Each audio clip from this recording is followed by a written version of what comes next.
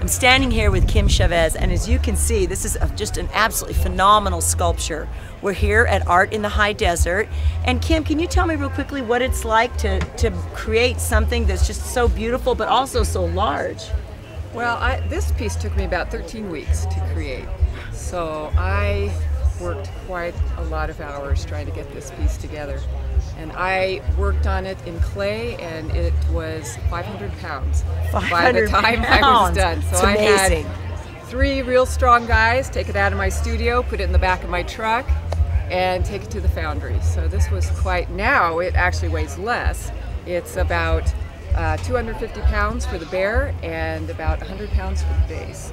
Well, it's stunning, and if you don't, um, hopefully we can capture the detail on video. But it's just his eyes, his or her, I call it a him. Him, his eyes are just tremendous. I mean, there's this emotion and this beauty.